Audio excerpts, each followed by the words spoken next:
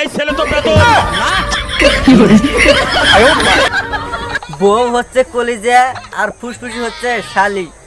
মাননীয় স্পিকার আমার দুরোড়াই কালি